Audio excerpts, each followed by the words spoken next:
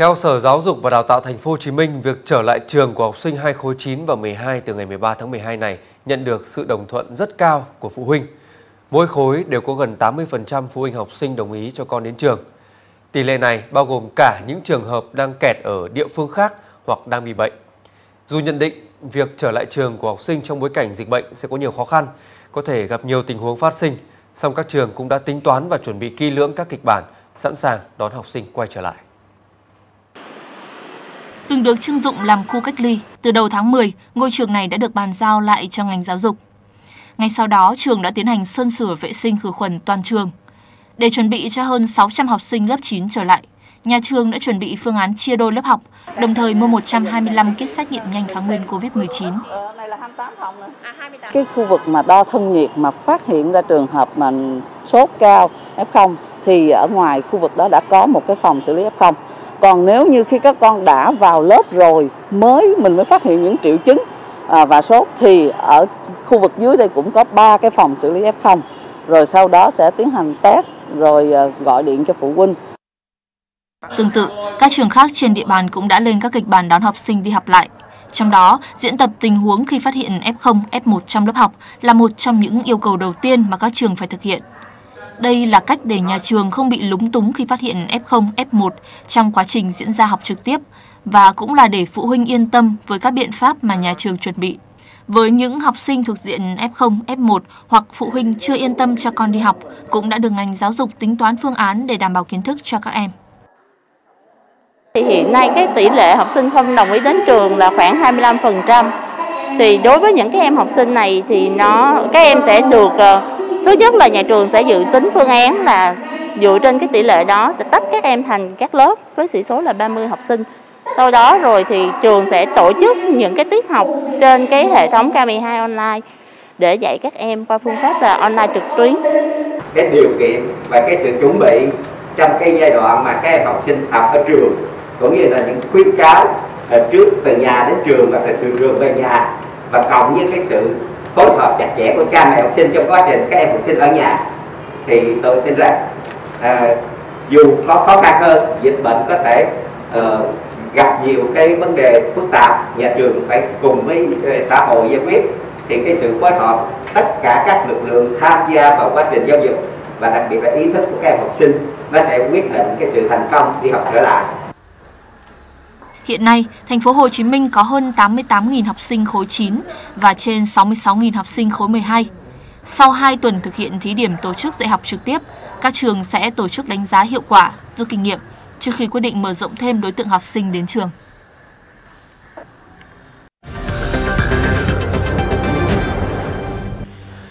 Thưa quý vị, sau một ngày xét xử vụ án lợi dụng chức vụ quyền hạn mua chế phẩm Redoxy 3C hưởng lợi hơn 36 tỷ đồng,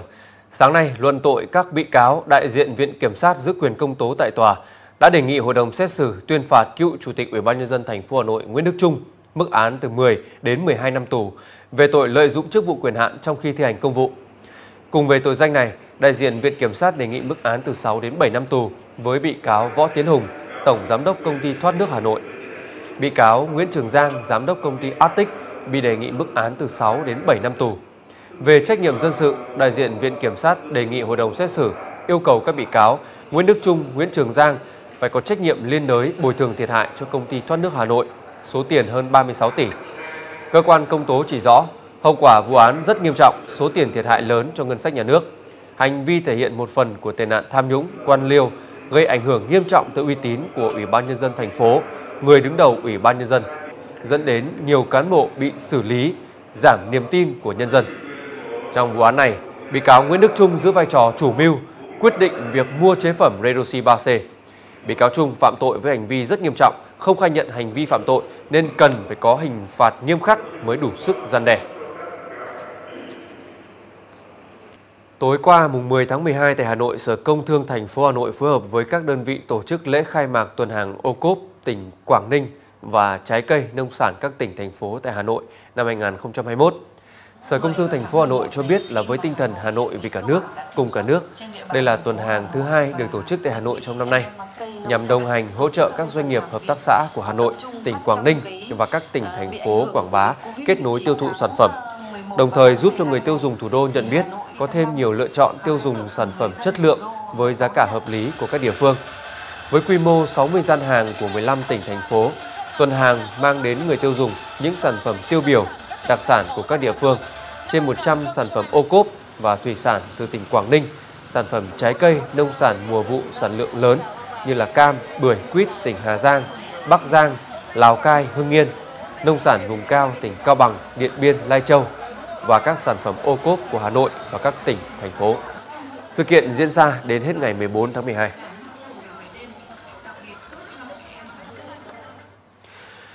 Vietnam Airlines và Nova Group vừa ký kết thỏa thuận hợp tác toàn diện trong thời gian 5 năm, từ 2021 đến 2025. Hai bên sẽ tạo điều kiện tối đa để phối hợp, hợp tác trên tất cả các lĩnh vực mà hai bên cùng quan tâm, cam kết cung cấp cho nhau những sản phẩm dịch vụ với chất lượng cao, mức giá ưu đãi, cạnh tranh nhất, đẩy mạnh phát triển chương trình khách hàng thường xuyên giữa hai bên nhằm đem đến những sản phẩm dịch vụ tiện ích tích hợp, chọn gói, phù hợp với nhu cầu của tệp khách hàng chung đồng thời nghiên cứu và triển khai mô hình kinh doanh mới tích hợp kỹ thuật số bắt nhịp cùng cuộc cách mạng công nghiệp 4.0. Như vậy là với thỏa thuận hợp tác toàn diện này, khách hàng sẽ là người thụ hưởng những giá trị gia tăng khi sử dụng dịch vụ của Vietnam Airlines cũng như là của Nova Group. Không đơn thuần là những chuyến bay theo tiêu chuẩn quốc tế, mà đây còn là những trải nghiệm du lịch nghỉ dưỡng, chăm sóc sức khỏe tiện nghi và đẳng cấp.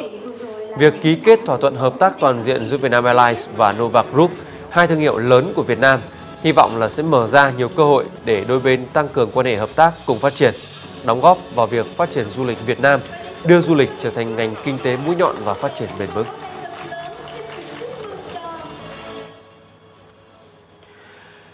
Khi thị trường chứng khoán có những phiên tăng giảm thất thường thì bất động sản được xem là kênh trú ẩn vốn khá an toàn cho nhà đầu tư. Ngoài đất nền thì các sản phẩm chung cư cao cấp đón đầu thị hiếu của người dân, hấp dẫn nhà đầu tư cũng tăng lượng giao dịch đáng kể trở lại sau khi các địa phương nới lỏng giãn cách xã hội. Ghi nhận của nhóm phóng viên tại Lào Cai, một trong 14 tỉnh tại khu vực Tây Bắc. Là người dân sinh sống tại thành phố Lào Cai, anh Hiệp khi nghe giới thiệu về một dự án tòa tháp căn hộ cao cấp đã đến để tìm hiểu. Thứ nhất là đảm bảo về an ninh tốt, cái thứ hai nữa là những cái tiện ích khu rất là tốt. Và cái thứ ba nữa là cái không gian sống. Nó rất là là là, là chuyên nghiệp, nó rất là cao cấp. Cho nên là cũng đang muốn nghiên cứu để ờ, tìm hiểu về cái dự án bên này. Tâm lý thích thú với các căn hộ cao cấp của người dân Tây Bắc như anh Hiệp không phải là khó hiểu, bởi toàn thành phố Lào Cai hiện chưa có tòa trung cư cao cấp nào. Bởi vậy, tại buổi giới thiệu giai đoạn 2 của dự án The Manor Lào Cai là tòa tháp The Manor Lào Cai 25 tầng, gồm các hạng mục trung cư, khách sạn, căn hộ dịch vụ đã thu hút không chỉ người dân mà còn cả đại diện cơ quan quản lý nhà nước. Như các doanh nghiệp trong nước là cũng trải qua những cái giai đoạn rất khó khăn của tình hình dịch bệnh. Tuy nhiên với quyết tâm, tâm huyết và sự nỗ lực, chúng tôi ờ, sẽ uh, cố gắng hết sức để hoàn thành đúng và vượt mức tiến độ đề ra để công trình sớm đưa vào hoàn thiện và làm một điểm nhấn đô thị của tỉnh Lào Cai. Với cái tòa tháp này, với một cái nhà đầu tư có tầm, có tâm, năng lực rất là tốt, với một cái tư vấn thiết kế tốt và một cái đơn vị thi công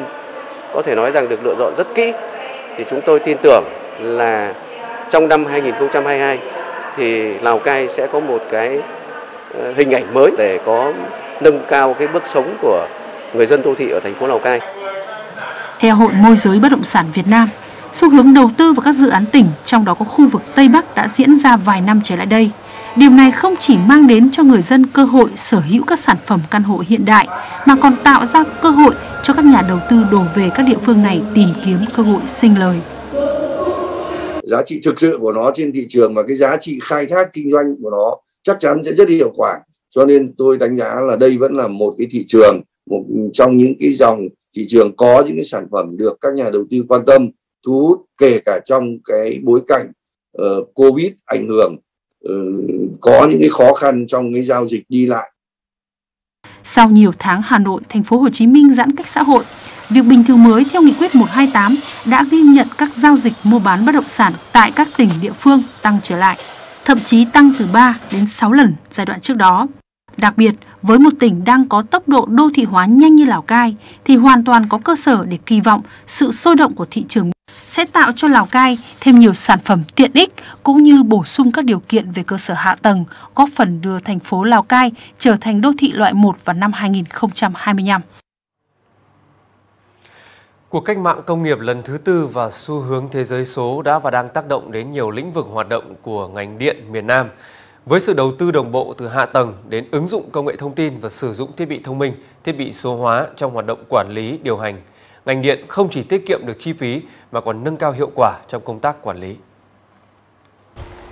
Đồ nghề mang theo của tổ công tác hiện trường điện lực không thể thiếu các thiết bị công nghệ như thế này. Với sự hỗ trợ của camera nhiệt, nhân viên điện lực không phải trèo lên cao để thao tác thủ công, nhưng vẫn có thể kiểm tra, đo nhiệt độ các mối nối ở vị trí xa hàng chục mét với tỷ lệ chính xác cao. Điều này giúp phát hiện sớm các bất thường trên lưới điện. Rất là giảm được cái cái sức lực để mà đi à, cứ mỗi lần có thể là phải ra hiện trường rồi leo lên kiểm tra, lấy ống nhòm kiểm tra mối nối, vân vân. Còn bây giờ là có súng, mình chỉ cần bắn lên là mình biết được cái nhiệt độ cái của mối nối nó như thế nào. Và và quản lý kỹ thuật ở nhà mình cũng nắm được là cái khoảng cách ở đâu ở đâu, có những cái ờ, sự cố gì không nó tạo ra cái ờ, làm việc ờ, chuẩn đoán nhanh và hiệu quả hơn. Dụng cụ bấm tọa độ, vẽ sơ đồ nhánh rẽ nhỏ gọn này hỗ trợ nhân viên điện lực tìm kiếm vị trí nhà khách hàng, xem thông tin, sản lượng điện tiêu thụ, kiểm tra từ xa tọa độ trạm biến áp, đường dây, trụ điện. Dữ liệu thu nhập tại hiện trường được gửi về máy chủ, giúp vận hành lưới điện khoa học và chính xác. Ứng dụng khảo sát cấp điện bằng máy tính, bảng đáp ứng nhanh chóng, chính xác, hiệu quả, tăng sự hài lòng của khách hàng. Trước là mình phải nhận hồ sơ của điện lực xong xuống tới nhà khảo sát xong mình quay về điện lực mình mới ờ, lên máy tính mình vẽ thì đối với máy tính bảng thì mình sẽ xuống nhà khách hàng mình vẽ tại nhà khách hàng luôn và đồng thời là mình rút ngắn cái thời gian cấp điện của khách hàng xuống. Với lộ trình xây dựng lưới điện thông minh dựa trên công nghệ số, ngành điện miền Nam đã triển khai trạm biến áp không người trực tại 21 tỉnh thành phố phía Nam. Không cần nhân viên, công nghệ điều khiển từ xa tự động vận hành, giám sát quá trình hoạt động thu thập dữ liệu của trạm hệ thống camera kết nối đến trung tâm điều độ. Điều này giúp làm giảm nhân lực ờ, cho các công tác trực tại trạm và cũng việc thu thập dữ liệu đầy đủ chính xác theo thời gian thực giúp nhân viên vận hành chủ động hơn trong công tác vận hành và xử lý sự cố được kịp thời nhanh chóng. Trong cái công tác quản lý kỹ thuật thì tất cả những cái thông số của các thiết bị lưới điện đều được tập trung và thu thập qua cái hệ thống mạng và trực tiếp ra cái nơi điều hành. Rồi chúng tôi ngồi đây có thể điều hành toàn bộ lưới điện của toàn tỉnh, cán bộ kỹ thuật điều hành như vậy. Những kết quả bước đầu của lộ trình chuyển đổi đem lại thuận lợi cho khách hàng và tăng hiệu quả điều hành quản lý. Song song với việc đào tạo, thay đổi nhận thức chuyển đổi số của cán bộ công nhân viên đã giúp ngành điện miền Nam từng bước vươn tới mục tiêu trở thành doanh nghiệp số giai đoạn 2022-2025.